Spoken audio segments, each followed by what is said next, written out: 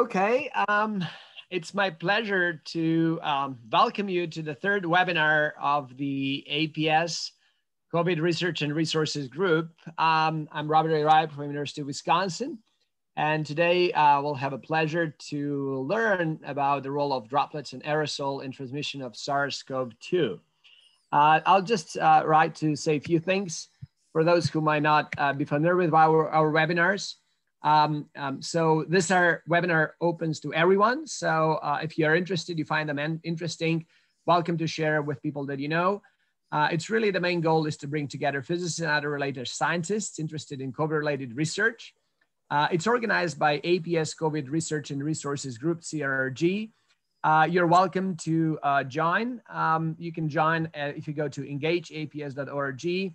Uh, it's again open to everyone, not just to APS members. If you have questions, just send an email to CRG.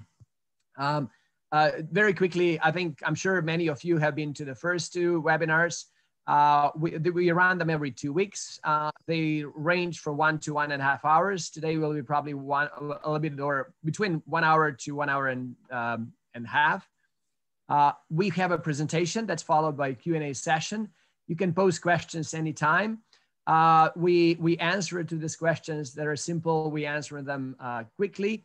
Uh, and then uh, some of the larger questions, more, um, more broader questions, we save them for discussion later. Uh, we have Q&A and post-webinar discussion to CRG Engage. Uh, if you're interested, join there.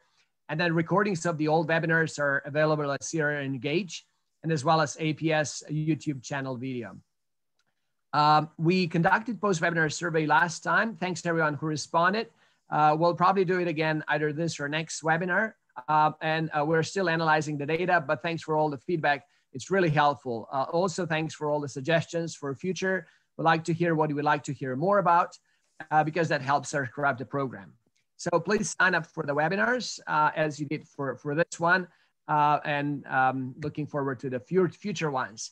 Here's just some of the next ones that will be really in, more focused on the immune interactions and evolution and vaccines. Uh, so uh, will be a little bit different topics than today, uh, but uh, equally interesting. The same, I would just like to thank again to everyone who helps bringing this uh, to you. Uh, and with that, I'll just like to hand over to Jose Luis Jimenez, who is going to introduce our speaker. Thank you. Thank you. thank you, Robert. So I'm, I'm going to introduce Adriaan. Uh, it's my, my pleasure to do so. Dr. Adriaan Bax is a Dutch-American molecular biophysicist, and he did his bachelor's in applied physics at the Delft Institute of Technology in the Netherlands in 1978, and got his PhD at the same institution in 1981. He's the chief of the section on biophysical uh, NMR spectroscopy at the National Institutes of Health, and has won many honors and awards. For example, he was the world's more, most cited chemist over two decades from 1980 to 2000. And in 2002, he was elected uh, to be a member of the National Academy of Sciences. So he's going to talk to us about what we know and what we don't know about the role of droplets and aerosols in the transmission of SARS-CoV-2. Adriaan? Thanks, Jose. Um, let me do the share screen thing here, if I can get to it. Um, can you guys see this? Yep. Yes. All right. Um, thanks for the kind introduction, and it's a, uh, a pleasure to be able to uh, contribute, despite how unpleasant the motivation to uh, for this series uh, has been to all of us. Um, I knew absolutely nothing about the, to uh, the, topic that I'll be talking about uh, today as of six months ago, and it's only because of this uh, crisis that I became interested in the topic. And if you're worried about aerosol, uh, Jose really is the expert. So I'm a tad nervous here because he knows much more about this subject than I do. Uh, our own research and interest, as I mentioned, was uh, sparked by the uh, onset of the uh, current COVID crisis. And I hope to convince you that physics may actually hold a key to, to potentially mitigating and ending the pandemic. Uh, the work I'll be talking about today was uh, a close collaboration with my colleague Philip Anfinrud, who spends much of his regular research time at the Argonne synchrotron collecting uh, uh, images and, and data, uh, X-ray data, I should say. His associate, uh, Valentyn Stadnytskyi, and my daughter, who's a fourth year med student, who came home for a couple of months when the medical school in Pennsylvania closed and helped and joined our team in, in the work that I'll be describing. Um, others that I should acknowledge briefly, um, Feng Li was a former postdoc, now a professor in Wuhan, and she was actually the first to point out that she didn't know how the virus was being transmitted because she told me there's no coughing or sneezing, but everybody's getting sick. Uh, my wife of 34 years, Ingrid Poufan, pointed to the, uh, the known fact that speech droplets are abundant and uh, could be infectious. And we were slightly frustrated to see that there was no mention of speech droplets as a uh, transmission mechanism on the CDC website, even while for influenza it had been acknowledged.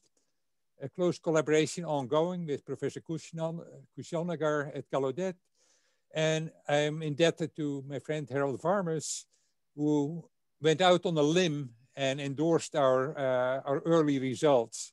Uh, getting any kind of credibility when there was so much noise early on during the pandemic um, was difficult and wouldn't have worked without, without this help. And then many others have been involved, in, particularly in the early aspects of, of our work. Uh, one disclaimer here, although I work at the NIH, I do not hold a medical degree and I don't speak for the NIH, all right? So don't attribute anything I say to the NIH. I could get in trouble. Uh, two more acknowledgements here. Uh, two group members, Yang Xian, who's been the, uh, working primarily on the computational analysis of the images. Uh, very sophisticated, very nice work he's been doing on that. And Joseph Courtney, who was key in actually building our detector system after uh, that involves now a blue laser instead of the green laser that you'll see towards the end of my talk. Uh, this is actually, let me briefly expand on this. This is actually a steel box encased in uh, thermal insulation. Most of it comes from Home Depot.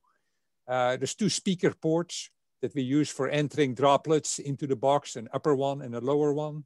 And we'll come back to that uh, later. And the camera is situated at the back of this box, all right? And the camera is used for observing the images. Uh, some literature that I'll be heavily relying on. Many of the slides are stolen from those papers here, and you'll be able to look it up. It's very, very uh, insightful work. And those were key. There's many other important publications. One particularly, well, one mention here, this textbook by William Wells back in 1955, actually before I was born. I think if this were part of the regular med school curriculum, the pandemic never would have developed to the extent that it has. There's a lot of good knowledge in this that has been apparently completely forgotten and sort of frustrating. Another very gem of a paper that I'd like to point you to is uh, Daniel Musher's uh, mini review in the New England Journal of Medicine. And communicating with, with Daniel, he sort of made it clear to me that once the infection the COVID infection starts in the upper respiratory tract, then the race is on. And what he means with that, it's the race between the virus that descends to the lower respiratory tract, that is your lungs, and your immune system that is trying to ramp up. So as long as your immune system is ramped up before the virus gets to your lungs, you're good to go. If the virus enters your lungs at the first stage, you could be in deep, deep trouble. And it's a little bit like in real estate. It's location, location, location. When the virus locates in your upper respiratory tract, it doesn't do a whole hell of a lot of harm. You lose your smell, you may get a sore throat, you get a headache, but you're not going to be deadly sick. But once it descends into your lungs, you could be in serious trouble. Um, early videos that we brought out is like to alert the people to the evidence of speech droplets. They're highly abundant. You can see what Phil Anfinrud emits here when he speaks behind a bundle, a, sheet, I should say, of laser light. And one colleague sort of uh, jokingly said, well, don't speak like Phil does. Uh, sorry, we all do, as you see here in this image. This image actually was hard to get. You might say as a physicist, oh, duh, why don't you indeed try this with many persons. When we first published the data, it was only for Phil. The reason for this is if you're working at a med school or at a medical institution, this could be considered as human subject research. And as a physicist, you probably never heard of that. For us, it is a big red flag because it's tightly controlled. If you want to study multiple human subjects, you got to make sure to include a diverse array of people. They meet all kinds of criteria. There's an institutional review board and an approval process for it. In the end, we ended up getting a waiver for this. These droplets were declared as discarded objects. So we're just studying discarded objects. We're not studying people. And we were able to get the waiver eventually uh, to allow to publish this kind of data. Uh, here is actually the video clips that uh, those were taken from those images. And you can see spit happens. See Phil speaking. Spit happens. Spit happens. Spit happens. Spit happens. Okay. Spit happens. And you see the enthusiasm of our youngest member of the team. Um, spit happens. Another thing that we showed early on is that we can stop those droplets from entering the atmosphere very easily with a mask. And this was in March. Remember, masks were strongly discouraged because there wouldn't be enough masks for the medical community. But what Phil here is showing that even just a paper towel can stop the vast majority of the droplets from entering the atmosphere. All right, they're going to get stuck in his in his paper towel, or we've used a washcloth in our earliest demonstration. Now, this may not be good enough to stop the smallest of droplets, like breathing or droplets produced by the vocal cords, from entering the atmosphere, but many of the larger droplets that have a large volume fraction will get stopped by primitive uh, cloth kind of masks. Uh, a warning to the students, the kind of experiments I'll be talking about today are actually very easy to do. You go, you buy one of those lasers for 60 bucks on eBay, and you go to Home Depot, and for a few hundred dollars, you can rig something together like what I'll be, be using for much of my talk.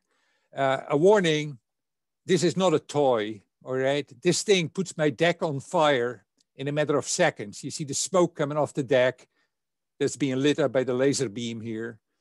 This is not a toy. Be very, very careful when you play with this kind of stuff. Um, to start with the end of my talk, uh, give you some of the, uh, I've got, since I'm in the medical world, call them speculative conclusions.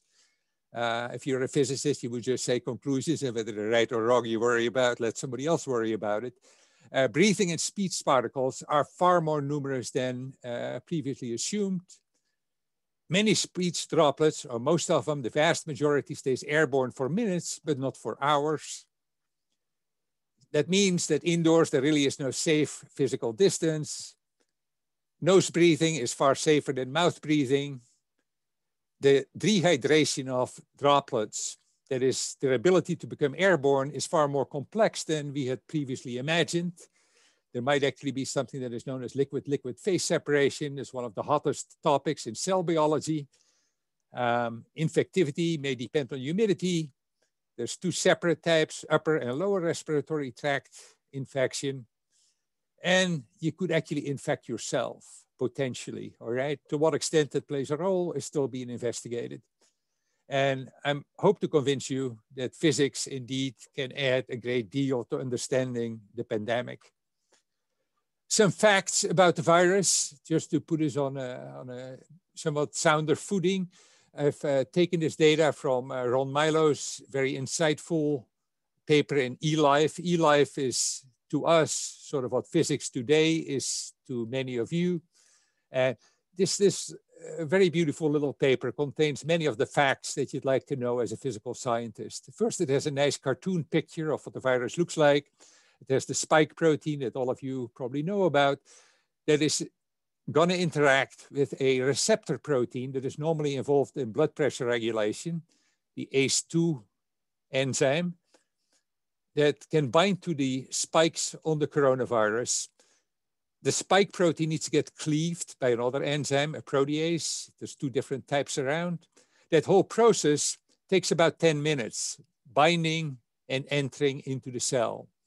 Once it's entered, this thing needs to unwrap itself. It needs to prepare its machinery and create babies. all right, that takes 10 hours.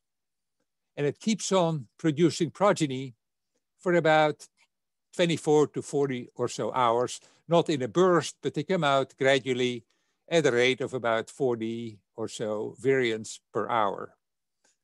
Um, we've got about 100 billion host cells in, in the lungs.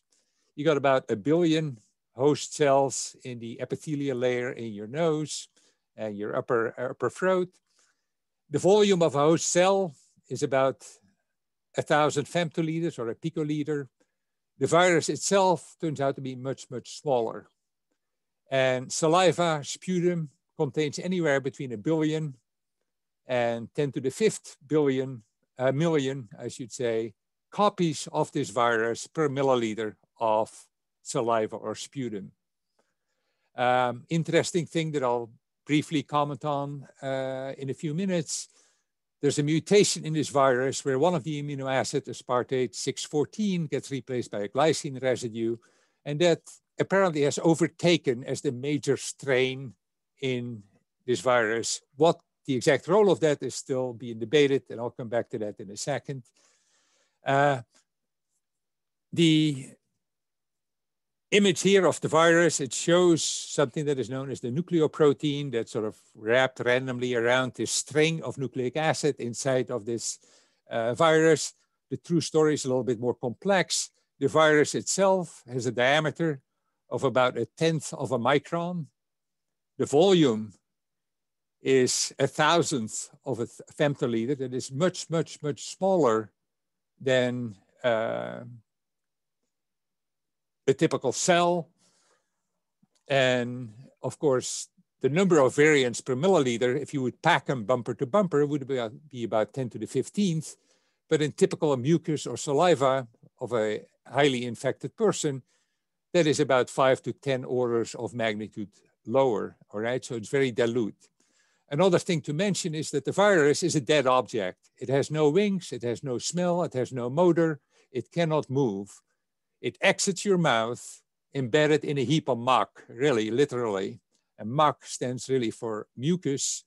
Saliva and mucus make up 95 to 99% of the oral flu fluid or uh, um, that uh, of the droplets that enter uh, that exit your mouth. Um, some cartoon view of the droplets that come out of your mouth with the virus embedded in it. As I stole this from Jose's uh, website. Um, this is really an incorrect depiction. He correctly points out uh, a more accurate or a less less incorrect, as he calls it, depiction looks more like this.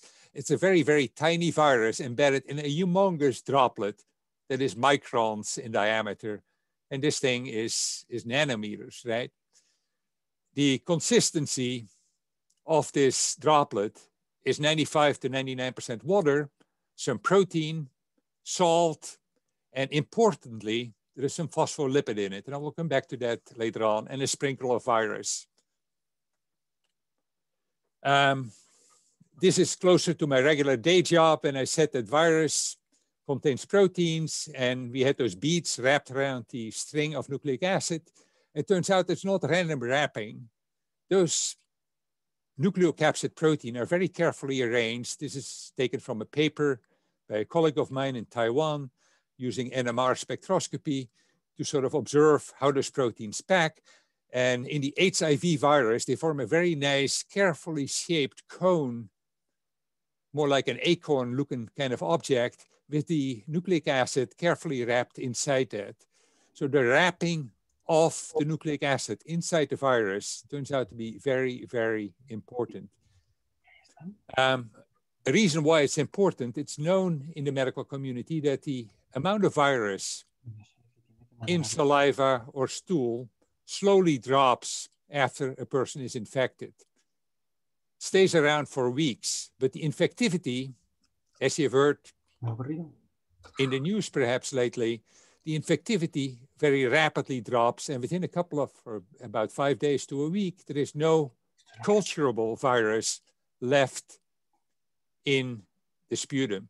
And a hypothesis, my own perhaps wacky hypothesis, is that it relates to incorrect packaging by this nucleocapsid protein. A little bit like if the virus or the cell that is wrapping up the virus and sending it into the world is in a hurry because it feels the pressure of the immune system, it no longer wraps it up carefully enough, sort of like, like you and me, perhaps on Christmas Eve, you feel the pressure, you're getting in a hurry, you don't do the careful packaging of your Christmas gifts, in this case, the virions.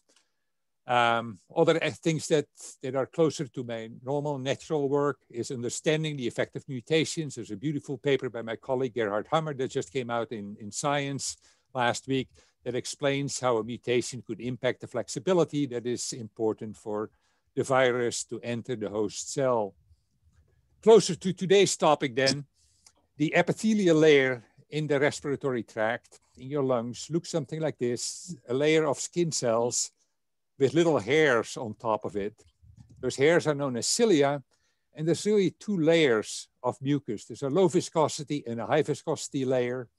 And those hairs are actually motor driven and serve to send this upper layer out of your respiratory tract, clean out any dirt that has gotten trapped in here, any aerosol, any virus, get it on its way out into your mouth. You can swallow it, you can spit it out, you can do whatever, and it won't get the chance to enter here. But of course, the virus does. A small fraction of virus succeeds and manages to get into your cell and makes you sick a rare case where the actual picture, electron microscopy picture, looks actually prettier than the cartoon itself, more impressive. You see the cilia here and the virus.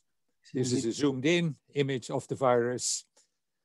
Um, it, this is a black and white picture, of course. Electron microscopy makes black and white images, can be color coded by an artist. And you see here the red objects are the viruses that sometimes can cluster that may or may not be important for infectivity. Um, but you can see the viruses here at the surface after they've exited an infected cell. Um, the thing that got us going six months ago was the realization that infectivity is maximum before the onset of symptoms. So this is a simulated, came out of a science paper. I, I, I picked this picture as a function of time after the virus enters uh, your body.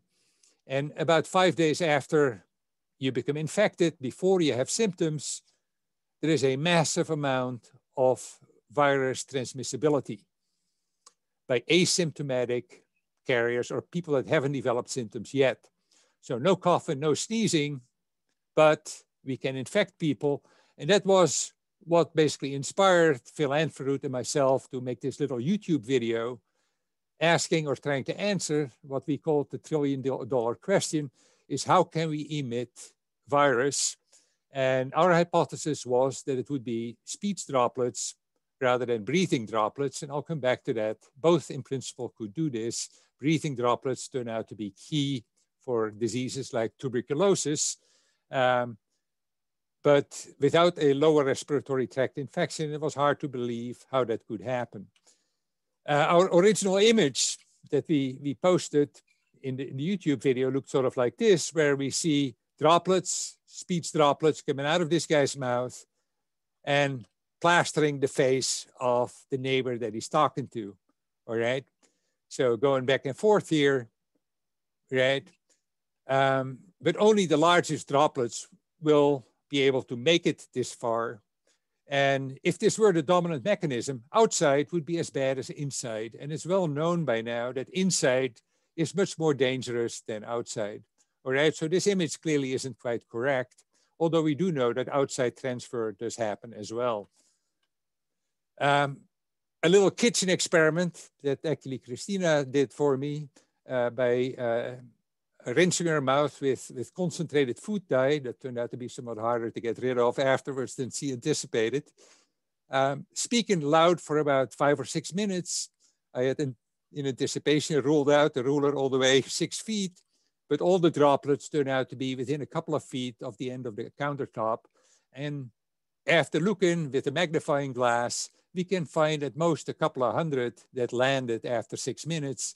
And that turns out to confirm the old studies from about a century ago that had concluded the same thing, that those droplets, large droplets are few and far between, and most of them don't, do not land on your countertop. So back to the laser lab. This is Phil Anfinrud's laser lab. Uh, we're going to use this sheet of laser light to observe droplets that go into a dark box here. Um, it's very bright light, and you can see that when you stick your hand in it. But in a dark environment, unless this laser light uh, hits something, you're not going to see it. If it hits speech droplets, they will light up like little sparks in your uh, visible by your camera. Uh, so first, first time that we try to, to view this and uh, make a little YouTube video out of it. Uh, this is what it uh, looked like. And this was posted on YouTube and subsequent. Stay healthy. You're listening to Phil. Stay healthy. No mask on his face, and you see the Great. droplets. Less loud.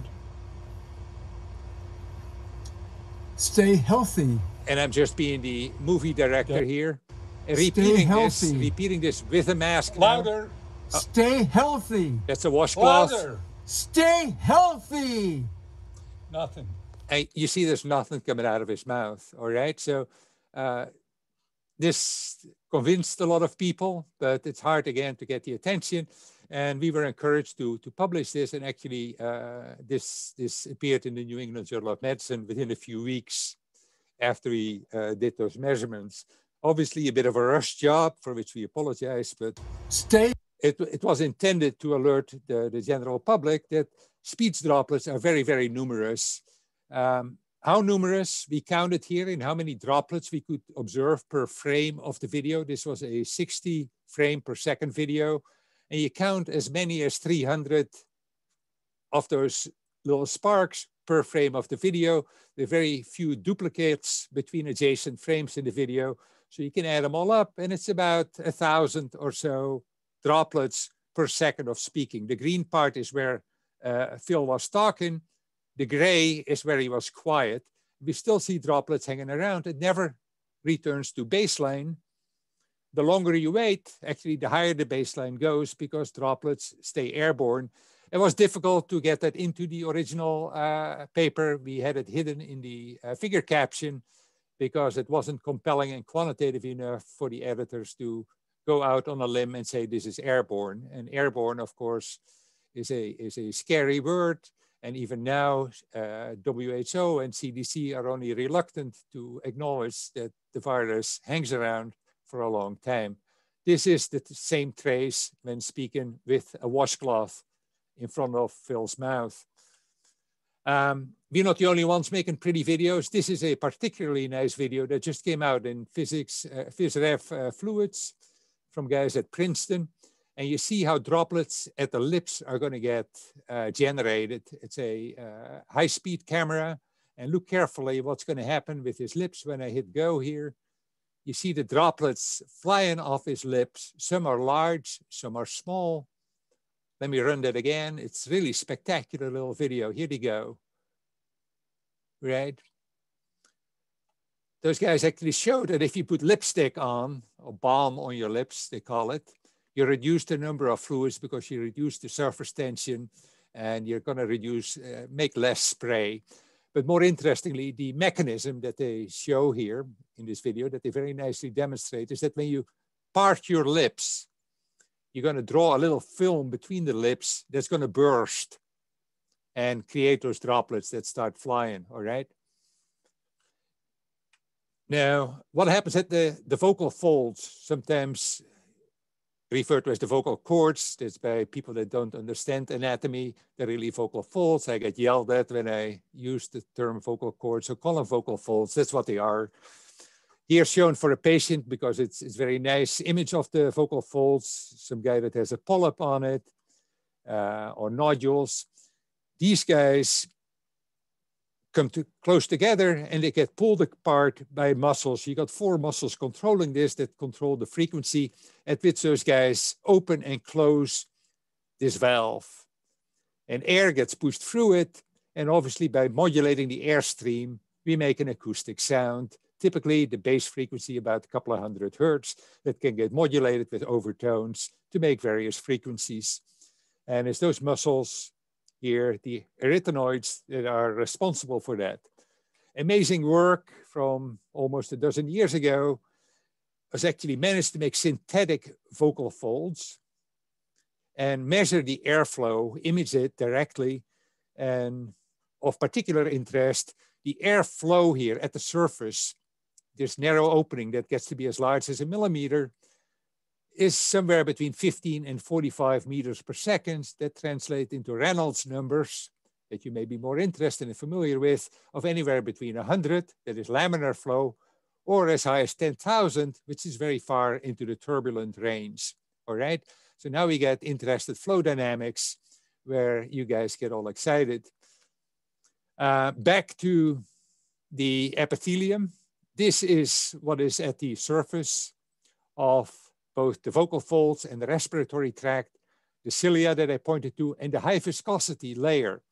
So whether the droplets form by shearing off some of this layer here, like for example, a, a, a breezy day at the ocean where you might feel ocean spray, or whether it is the vocal folds pulling apart like the lips did in the Princeton video is still not quite clear. But in either case, it does generate those droplets of mucus and uh, saliva, oral fluid that covers the epithelial layer. Uh, another cartoon view here indicating to you what the size scale is. It's about five microns between the cell, the, the actual uh, skin, so to speak, and the surface of your, your mucus. And here shown for a laminar flow, uh, flow profile of the air that goes over it.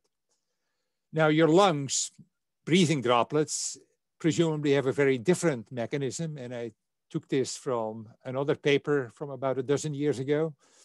You got little channels in your lungs that connect the alveoli to your bronchi that are covered again with this mucosal layer. And through surface tension, this can collapse and cause a restriction. Of course, the air pressure will burst open this restriction and can generate a breathing droplet in the process.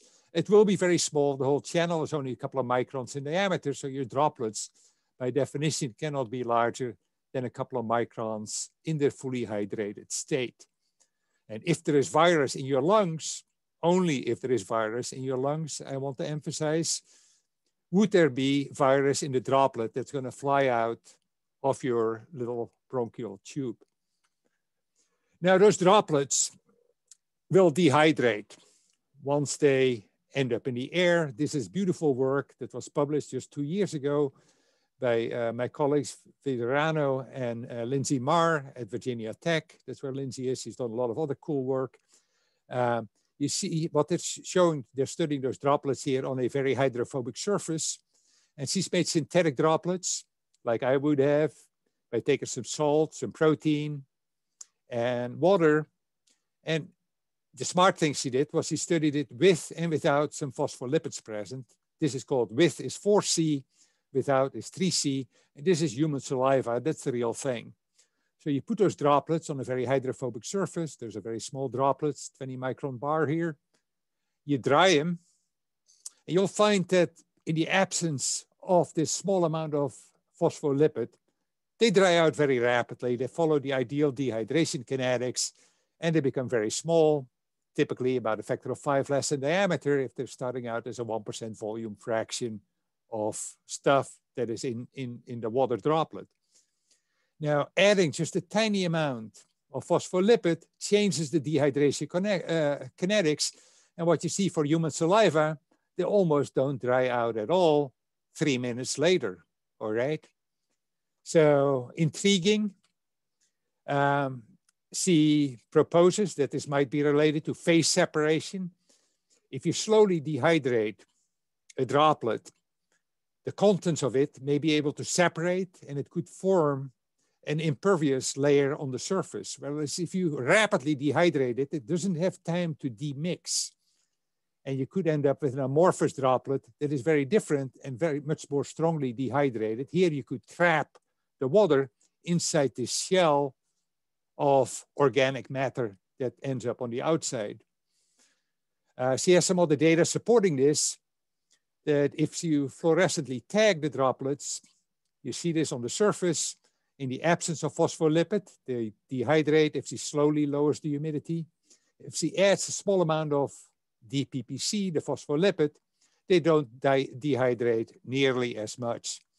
And this comes back in our videos, we show the same thing, that those, um, those droplets only dehydrate if you dehydrate them rapidly, not if you do so slowly.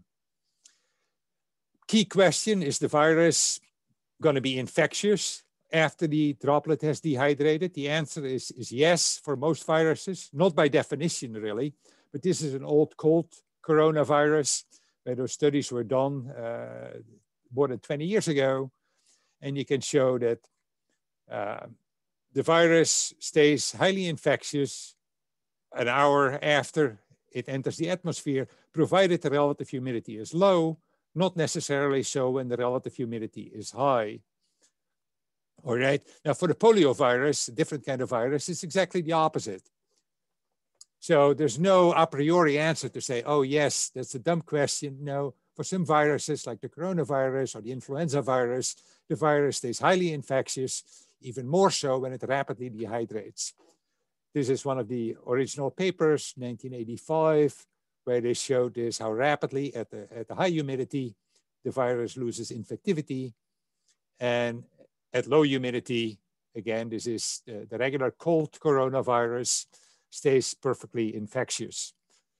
Uh, I also, like I pointed out earlier, droplet science is really old, goes back 100 years. Important stuff those guys did, particularly related to large droplets. They showed that the volume is very large. They carefully counted all of this. They couldn't count the small droplets as nice as we can these days.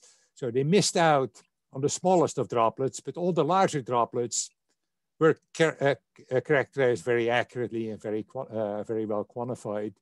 And as you can see here, the very largest droplets make up for a very big volume fraction. And even some of those don't land on your countertop. That's the percentage that land on your countertop. And anything less than 100 microns, very few will end up on the countertop and stay airborne, at least for close to a minute or longer. Uh, these days, people have focused more on, on smaller droplets using aerosol type technology. I won't dwell on this. This is actually hard when looking at liquid droplets. It's more made for solid aerosol, but uh, conclusions were uh, largely unambiguous in the sense that the number of droplets increases with the loudness of speech in a, in a very steep manner. The size distribution doesn't really change very much as a function of loudness. So uh, that, that is consistent with what we observe in our lasering uh, light scattering measurements, just that the numbers that were observed with their technology turned out to be about two orders of magnitude lower in terms of small droplets than what we see with, with laser light scattering. But many of the other conclusions are perfectly in sync with what we observe. So back to observing droplets directly with laser light. Um, this is uh, Phil's box where we're going to try to observe we, uh, fr from the front. He's going to insert droplets from the back. What you're seeing here is this box under construction after spraying some droplets, in this case containing orchid food that he had taken from his wife's spray bottle, uh, not knowing that it didn't contain the distilled water that he had put in there originally. And for a minute after spraying into this box, you can see those bright particles of aerosol of the salt orchid food floating through this box. Of course, there's many, many, many of them here. When you speak into the box, there's going to be far fewer, and it's only a very small volume fraction of the total box that we're going to be observing, okay? A very small fraction of 1%.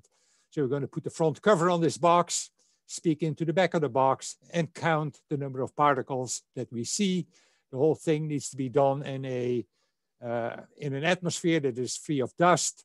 Normally would be done in a clean room, which we don't have, but he has this HEPA filtered uh, area sealed off by curtains. And after a couple of minutes, this is totally dust free. Uh, speaking into the box, we can count with a camera. We project here um, a total of, of six seconds eight seconds of 60 frame per second frames on top of one another. We count the numbers of particles per frame, typically at the start, after speaking for about 30 seconds, he observed, we observed nine, nine particles in the observed window, 30 milliliters, the total box volume, 200 liters. So you multiply it up, you know how many particles he has produced. And we see this in the number of particles that light up decay as a function of time. The small particles have a longer time constant. They scatter less light. So they're smaller. They decay in, in our measurements with a time constant of about 14 minutes and we just put it in two bins, obviously. The bright particles decay faster with a time constant of about eight minutes, and depending on how you partition it, this time constant is faster or slower. But clearly, those particles don't rapidly fall to the bottom of the box. And that's in a very, very quiet environment. Imagine what's happening in your, your canteen if you're speaking, where the air is moving around, people are moving around. Uh, those particles will hang around even longer uh, back to breathing. We couldn't see any breathing particles early on, but now with the more sensitive detector, the blue laser, we can easily see exhaled breath particles. These are now much smaller, but they're still hydrated, all right? They're fully hydrated. I monitor them just when they come out of my mouth and they enter the laser sheet of light. And as you can see, they sort of form a cloud. They're not uniformly distributed. That's because the air hangs together this is a frame of a 120 frame per second video uh, with a four millisecond shutter time to reduce motion artifacts. So you see them as nice crisp particles of different levels of brightness. This is without mask. This is with a conventional surgical mask, not an N95. And you see it cuts it down by about a factor of two or three. So even while those droplets are small, we can do a decent job on reducing them I can do the same thing, but instead of just breathing, I say, ah, and take a video of that. And now I've got a mixture of breathing and vocal fold droplets. Again, we can stop the vast majority of them, but not all of them because they're so small that many of them come through the mask.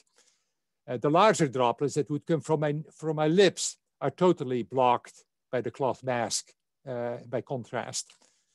Um, looking at those droplets, um, like I'd like to show you, is they they're numerous. There are many, many, many of them. You already saw that from the previous picture, but I'd like to show you a, a live image. I'm going to fill the top of my box, that steel box I showed you at the beginning, with this loud ah sound. Well, first I'm going to fill it with breathing droplets. Let's do that first. I just breathe in the top of my box and I start a little video here.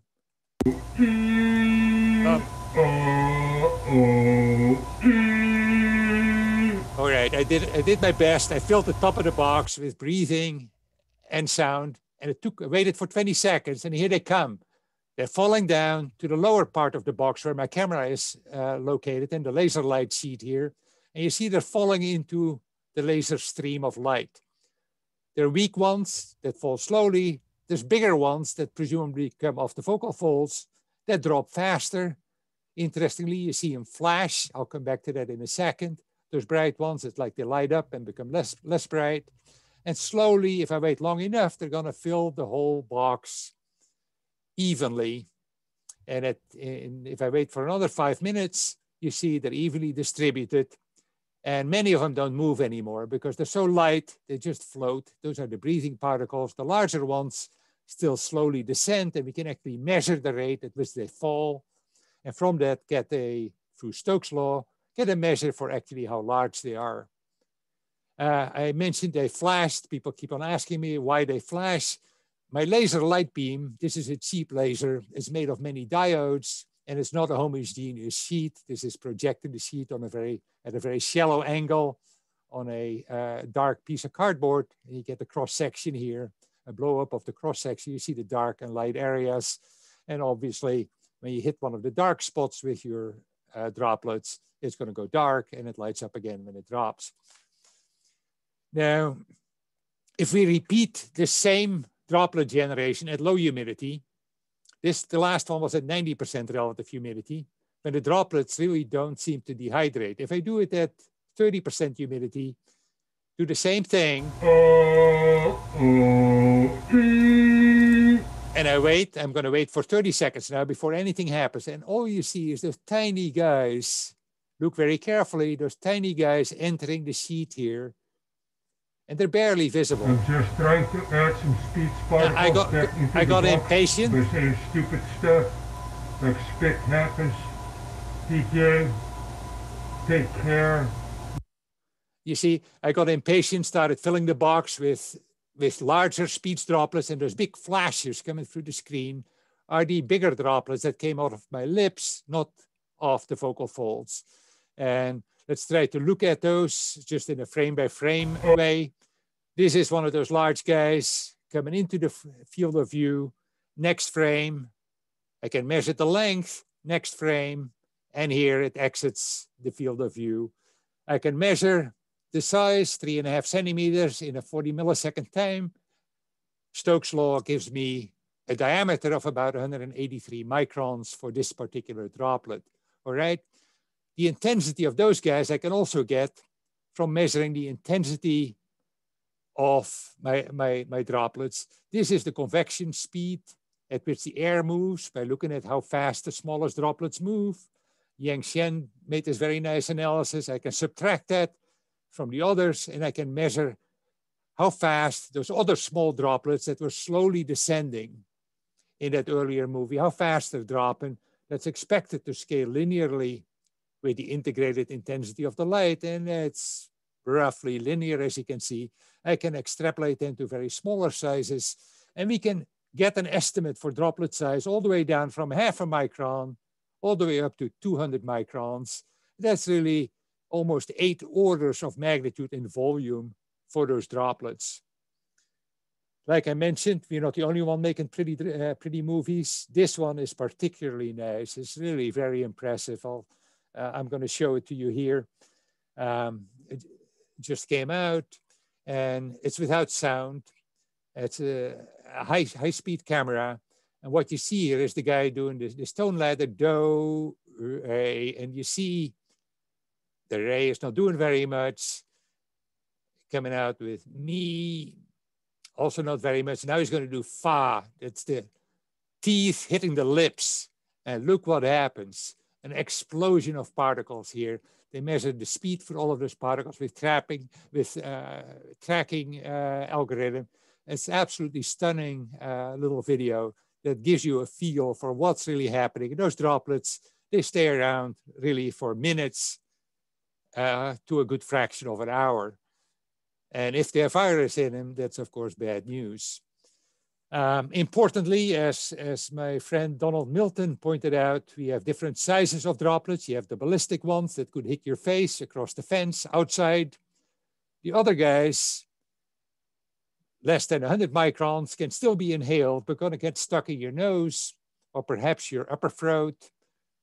The less than 10 to 15 microns that could contain a lot of virus because they have a large volume can also end up in your upper respiratory tract, but not in your lungs. And then there's the smallest guys that come off the vocal folds or breathing generated that can directly descend into your lungs.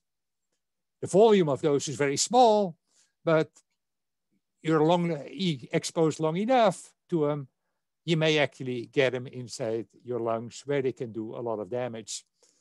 Uh, beautiful apparatus. I mean, you got to love this as a physicist. This is Don Milton's uh, G2. He pledged to send this to the Smithsonian soon. He's got the newer version of this uh, in progress right now of being constructed. But uh, fantastic apparatus. Another one that you got to love here. This guy, this is a Dutch-Belgian study where he climbs into this box, has culture trays set out. You can do this with mask, without mask, and measure how culturable the virus is. And they did this for Pseudomonas and could show that masks really help in spreading and emitting the amount of virus that comes out of a speaker's mouth. Um, is there an infectious threshold? Uh, a big fundamental question. It is known from wound healing, for example, uh, that if you have a high local dose of, of bacteria, you can overwhelm the immune system Similarly, for aspirational pneumonia, my friend uh, Daniel Musher's pointed out and published on this, this uh, uh, topic, if you inhale your own bacteria that are present in your mouth at night when you're asleep, through a process known as aspiration, they land in your lungs and you can actually get pneumonia from that. Now, as it's clear to you and all of us now after listening to this, this presentation, I hope, respiratory virus comes in units of one, all right? Typically, it would be one drop, one virion or a couple of virions per droplet. And many of those are defective virions. So even if you have 100 in a droplet, likely only one of them is actually infectious and correctly packaged with the nucleocapsid protein and able to enter the human host cell. So it's a little bit like throwing uh, food packages out of the space station uh, into your, your backyard, they're going to end up all over the country and not all at the same site when you inhale droplets.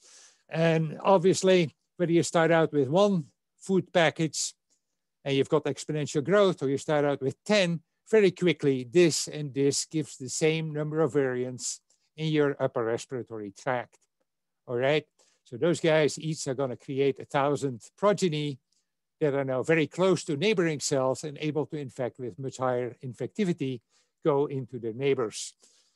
Um, a reason why I believe, and I don't want to insult my medical colleagues, uh, but why they are hung up about this threshold model is that invariably those dose response is shown on a log scale for the horizontal axis.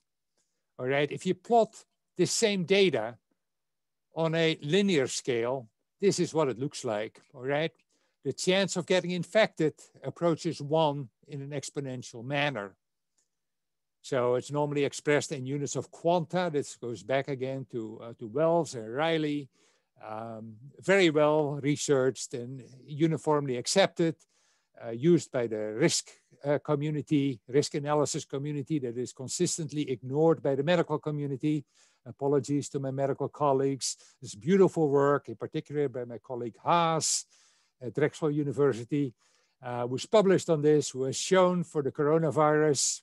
This is uh, the original SARS coronavirus, a dose response curve that looks nicely sigmoidal, yes, but as he points out, it fits this linear model that's frequently referred to as the exponential model, the single hit model, or the independent action hypothesis, all different terms for the same, uh, same idea.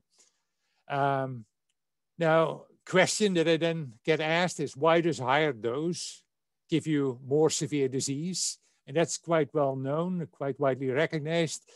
If you're heavily exposed, you're more likely to get serious disease. And of course, to us, the answer is obvious because the more virus, with certainty you're going to get infected in your upper respiratory tract, but the chance of getting a direct infection of your lower respiratory tract goes up. It's small to begin with, but the more virus you're exposed to, the chance that you get directly rather than indirectly infected in your lungs goes up dramatically with those. So there's other ways of infecting your lungs, and this is normally thought to happen through a process known as microaspiration, like I, I mentioned before, that you're sucking in your own droplets at night. This is known to occur, traced by radioactive uh, tracers here, and most of it will end up in your stomach. This is done in overnight sleep studies. You see it coming down the esophagus, and sometimes the stuff ends up in your lungs. How often this happens is a little bit debated. If you drip this overnight in somebody's lungs, it could be as much as 50% of the patients that show something in their lungs. On the other hand, people in Japan showed that if you tie it to the teeth, people that suffer from aspiration pneumonia are very likely to expire and get this sucked into their lungs. But normal, healthy controls are much less likely, and about 10% of the controls showed radioactivity in the lungs. So how widely, how often, and how uh, much aspiration contributes is not known.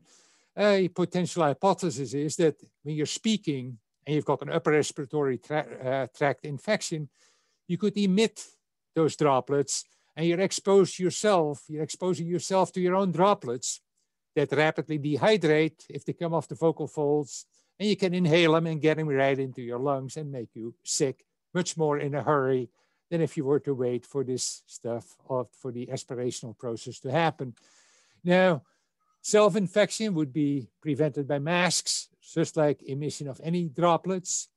And we all know how uh, controversial this topic is because many people don't like masks, right? Um, and we all know about this and have seen this many, many times. Uh, it's sad, but it's true. Um, I hope I've convinced you of the conclusions that I already spelled out to you previously. Some open remaining questions, primarily how do breathing droplets contribute and can carriers without symptoms contribute to this? The dehydration kinetics remains a very interesting question to physics. And uh, I believe that indeed physics has a lot more to contribute uh, than, than many had, had thought it did. And at this point, I realize I've, I've used already more time than I intended, and I should open up the discussion. Thanks very much. And I should stop the share screen. Thank you, Adriaan, for an excellent presentation. And we have some questions already in the in the public forum.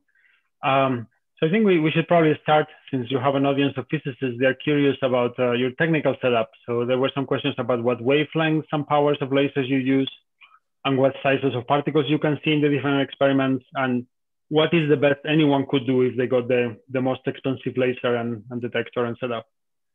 Um, actually, I think we're almost at the, that's a lot of questions at, at once to, to comment on, but um, yes, originally, when using a cell phone as a detector, Phil Anfinrud's uh, beloved iPhone, he thought this was the greatest of all uh, pieces of equipment. And actually, it's pretty good. You can, with an iPhone, you can get down to about a couple of microns and see particles scatter light with the setup he had using about four watts of optical laser power. Um, I'm using a Sony uh, camera, just a regular couple of thousand dollar camera from my neighbor.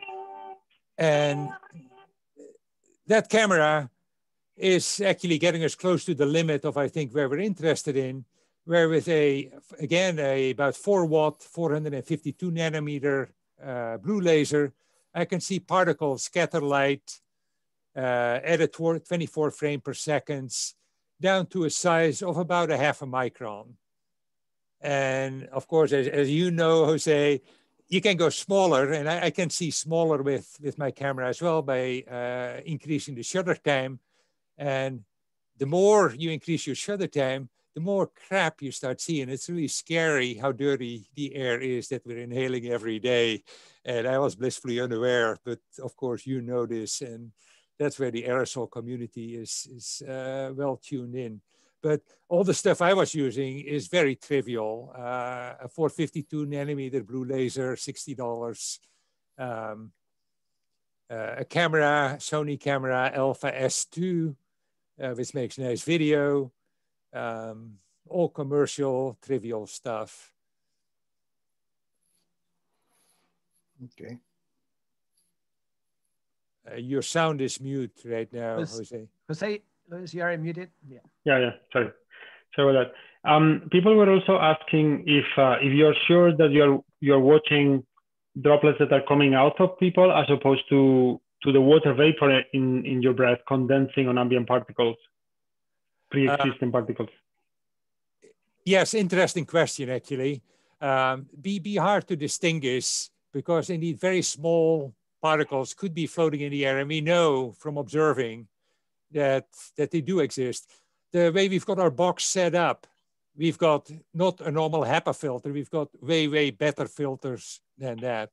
So I can be sure that the particle content in my box is extremely low and the number of breathing droplets that I observe doesn't depend on how well I filtered the air in my box.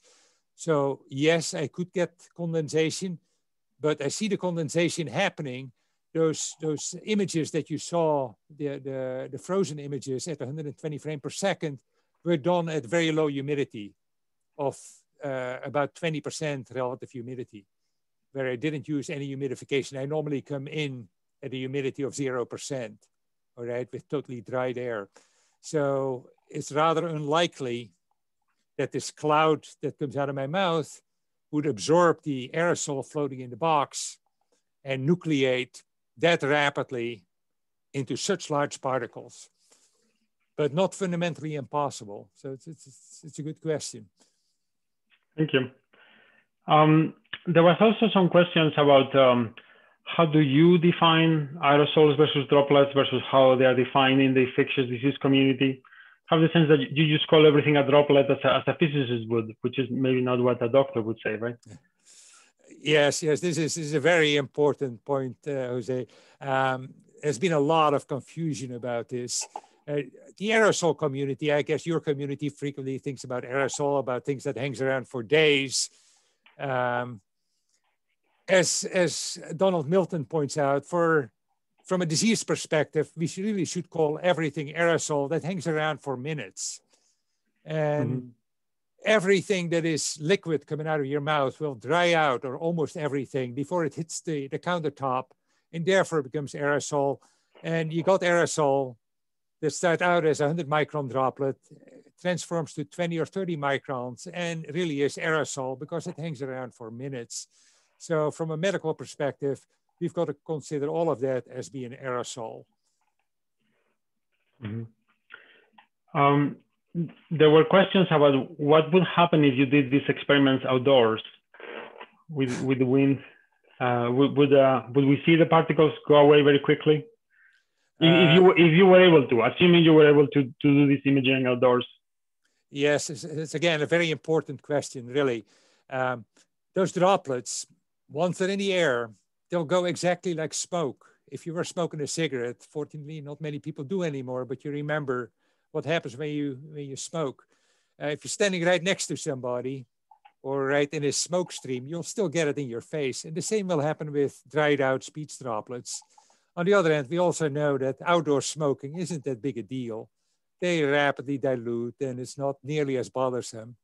On the other hand, you can pick, uh, pick up the smell of marijuana from a mile away. Uh, there are droplets or airborne particles in the air uh, everywhere, very dilute, very unlikely to, to infect you, but nevertheless not impossible. You can get hit by a meteorite too, you know, so you shouldn't fret too much about it, I think. Okay. Um, one other interesting question uh, is it known if these droplets are charged? They have a, a net electrical charge or are they neutral? Do you know? Uh, I really don't know. I'm going to ask you. You're the aerosol expert. uh, what's going to happen after they come out of my mouth? Uh, yeah. What I mean, I, I, you know, I, I, don't know for sure for these ones. It, it is known that often when you make particles out of uh, a fluid by these kind of surface tension processes, that you often end up with charges. That is, it's kind of like a static electricity making procedure. So you often have some fraction that don't have a charge, some fraction have a negative charge, some fraction have a positive charge. But I'm not aware of, of studies for speech droplets and, or speech aerosols. Well, if they carry a charge, that would make it more effective, I presume, for N95 masks. Would you think? Mm -hmm. Yeah, yeah, yeah. Anything that has a charge is much easier to we aerosol scientists spend a lot of time trying to not lose particles that have a charge because they are used so easy. They're attracted by any static electricity, and which is what N95 masks use. Yep. Uh, let's see. There, there were multiple questions about masks and different aspects of masks. Should we? Why, why don't you give us your general take about about masks? When when should we wear them, and well, what do they do? Two two things. Uh, masks I believe, are incredibly effective against emission of droplets. Just a simple cloth mask, almost everything works. Um, so cloth masks for preventing the virus from getting into your office, into the room, into the air, they're extremely effective. Now, how effective are they against inhaling? Probably not that great, all right?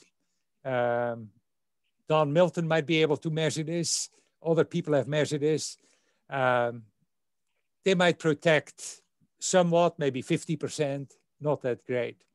But if everybody, if the whole bloody world were wearing a mask for a month, there would be no more pandemic. That's at least my somewhat naive but contention, right? There's no more spread of virus. That's the end of the pandemic. Now, there are many reasons. You've seen in one of my last slides why that's not going to happen.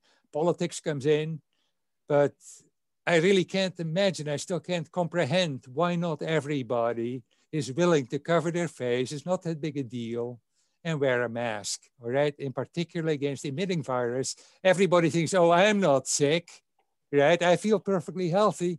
That's not the issue. You're gonna feel perfectly healthy and emit virus if you've been exposed. Mm -hmm. So some additional questions. Do you have any thoughts on using commercial air purifiers to clean indoor air? And maybe your own experience cleaning up the air on your box may give you some clues about this one. yes, yes, interesting question. And actually, uh, office contamination where things can build up, and if you got bad ventilation, is a problem. And in principle, an air purifier could do a great deal at purifying it. But as you know and pointed out on your very nice website, um, you're competing with air turnover. So your air hopefully will be refreshed in, in your, your office. So I think you should comment on quantitatively how difficult it is to, to clean your office or your lab by putting an air purifier that you buy at, at Home Depot into your office. What's your take? Well, I mean, I think it, it actually, it, it, works well as long as the size of the purifier is sufficient for the room. So you kind of what we are recommending is you want, so you have a room that has a volume of 25 cubic meters, then you want an air purifier that can clean a 125 cubic meters per hour, and then you are cleaning it five times an hour.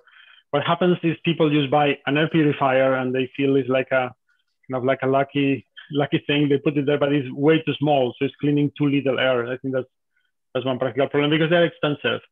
But there, there is this other type of air purifiers in which you use use basically literally tape an HVAC filter onto a fan, like a box fan, that actually also work very well and they're much cheaper. So we've been trying to get people to to use those and, and, and save money. Uh, one other, one other. Oh, can I, sorry. Can, can I just, just build yeah. a little bit on this uh, in yeah. terms of discussion and kind of like re reflecting some of the questions that were there? I think you know the current recommendations of six feet or two meters in Europe uh, are should be replaced uh, with more um, area-based or volume-based uh, requirements. How much space somebody needs, you know, especially for the for the winter months, um, you know, when the infinite space doesn't go. I think from your experience, Adriaan, was a lot of things that are really contained. So maybe the, the third dimension does not matter.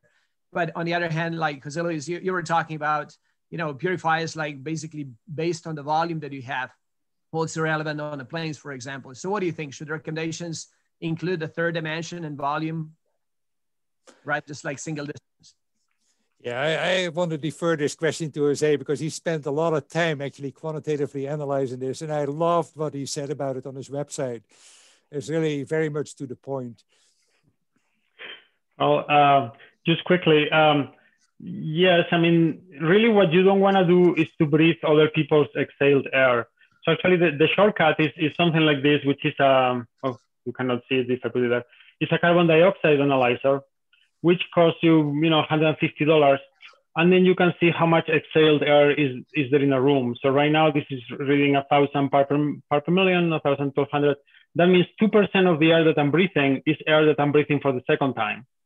It's just my air, so it doesn't matter so much. But if I were in an office, I don't want to be breathing 2% of everyone else's air. That's what's going to get you sick because this is just a tracer for the uh, for the aerosols that are going to be there. So, so yes, we have we have to think about how to not breathe other people's air. That's kind of the the key. Yeah, and then on top of that, I think, like you point out, is it depends on the activity, right? So if somebody is speaking, if everybody is just sitting there quietly, not doing anything else but breathing, if breathing part breathing doesn't create any virus, unless I've got really sick people in a hospital ward, where of course there, if it's in the lower lungs, uh, the air would be very contagious, all right? But if I've got asymptomatic people, most of those will not have it without symptoms in their lungs. So normal breath wouldn't really be as big of a problem.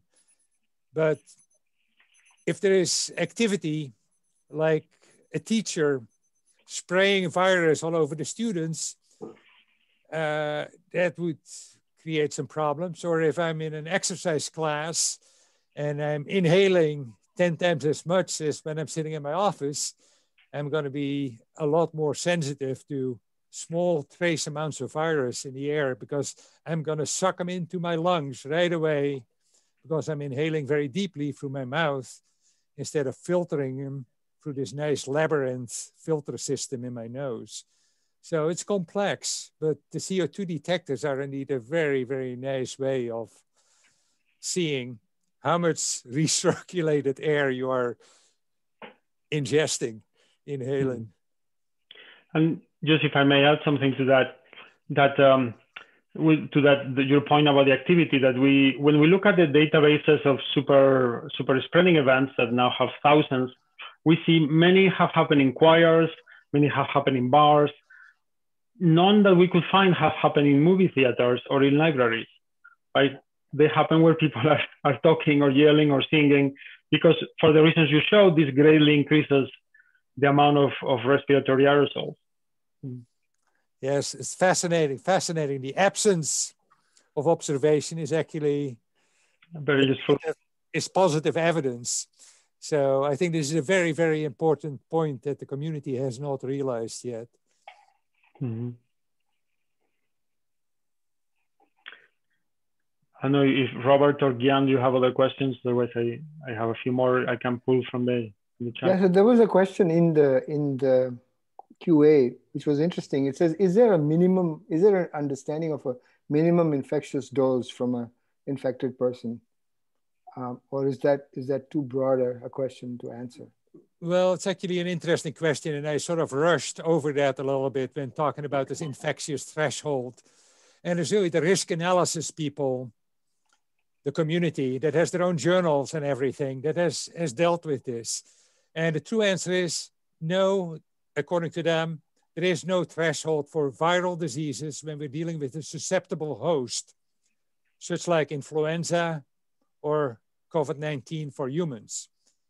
All right, those are two things, infectious, highly infectious particle and a susceptible host. Then it's just a matter of buying lottery tickets. The more you buy, the bigger the chance that you're going to get infected. And in, you inhale enough with all certainty, you're going to get infected. All right. Mm. And look at the paper by, by, by uh, Charles Haas, for example, where he did this for uh, the SARS uh, virus. So no safe, perfectly safe threshold. It's a matter of probability. And there was another question that was interesting.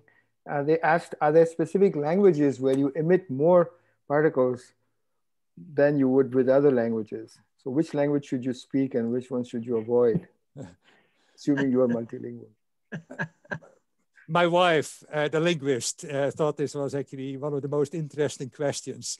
And I think by and large, it doesn't make that much difference because we all move our lips apart, our tongue, our teeth touch our lung, our lips, and we all have vocal cord vibrations. The it's more in the sociology of speech, I think, and see things that Italians will speak more than other cultures, right? Or in New York, they're going to be speaking louder in some communities than in others. So yes, we're going to, or in a bar, you're going to be speaking louder than if you're in a very quiet reading room. So it's more the habit of speaking than the language per se, I believe, although there might be some subtle differences. Mm-hmm. So, and kind of like related, uh, related question was, um, you know, obviously the size, you showed very nicely how much the size matters. Uh, you know, and then part of the question is, uh, again, going to um, to the question, how far is far enough? You know, what's the impact on the humidity, you know, conditions and the amount? But also in the terms of protection, uh, is, there like um, you know any any recommendation in terms of which particles are the ones that would be stoppable or not, or you would need to be uh, depending on the circumstances, just of the size, you know, an amount of virus in that that could be transmitted, etc. So, uh, anything. I, I, only dare to comment. I don't want to make any recommendations because that's above my pay grade and I'm going to get yelled at by, by a lot of colleagues if I do so. The only thing I can say from observing experimentally what we see with our laser light scattering is that any type of mask is extremely effective at stopping emission. 99% or more, all right? Except, of course, what we can't easily measure, how much escapes from the side of your mask. And I think Jose made some very important point that fitting of your mask is more important than the type of material a mask is made of. If you sneeze or if you cough, the airflow volume, the instantaneous volume is humongous and you blow your mask off your face, right? A lot of it will escape. If I go, ah, there's not a lot of airflow and all of it goes through the mask. So the mask will be extremely effective. If I cough, I produce this burst and I blow the mask off my face and I still produce, uh, produce material in the air. So you got to be very careful answering this question in, in black and white. And you know, uh, in, in some way, just reverse question was like breathing uh, through mouth or through nose. You know, and we know that uh, obviously nose has a lot of mechanisms to to break.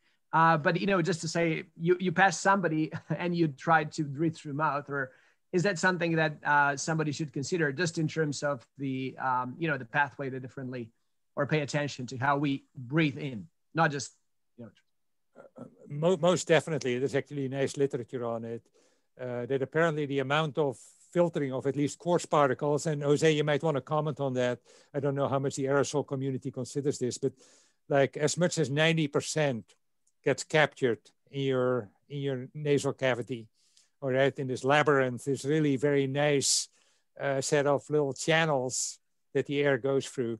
So mouth breathing uh, I recommend against, even if myself, especially when exercising, get engaged in it because I need the amount of air.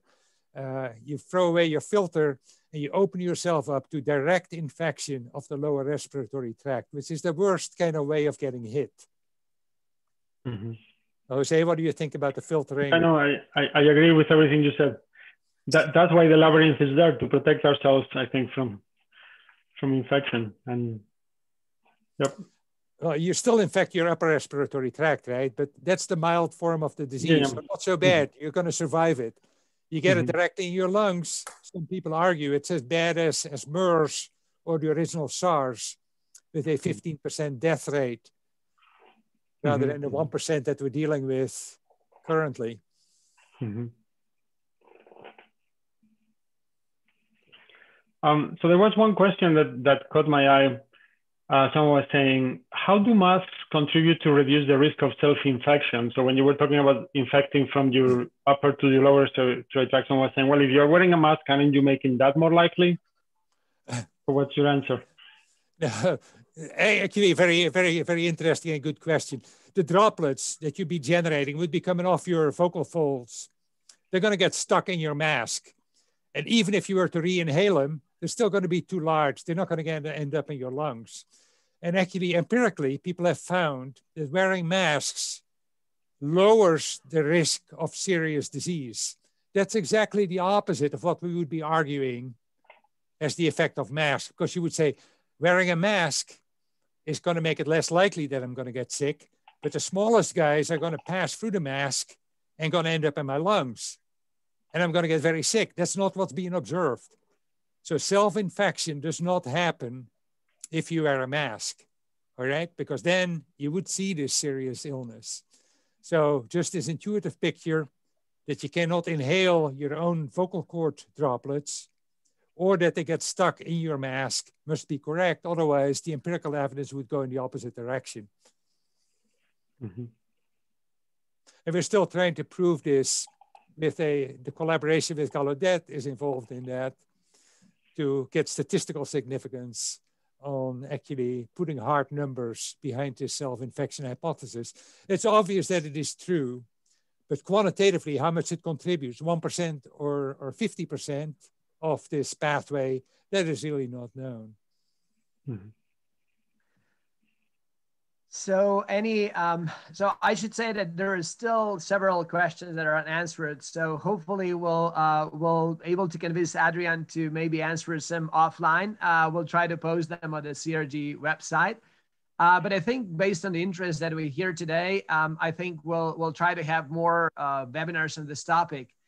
Uh, so um, I would like to thank again uh, Adriaan for a wonderful, wonderful uh presentation. I think the I think you convinced everyone that maybe have not been convinced that it really, really uh, and I think Jose Luis, I think was great um, uh, moderating. I think, uh, and looking forward to maybe hearing from you once the future about more of the aerosols. I think there's a lot of interest that you've seen.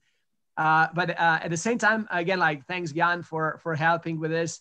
I would like to invite everyone in two weeks time. Uh, and then as I mentioned, for the next two, we'll be focusing on on the immune aspects, and I think especially with the incoming uh, vaccines, I think there will be a lot of interest, you know, how our body fights and what we can do uh, with vaccines to, to help in case we, we don't wear a mask and, and get infected. So thanks everyone for attention and uh, see you at the next webinar.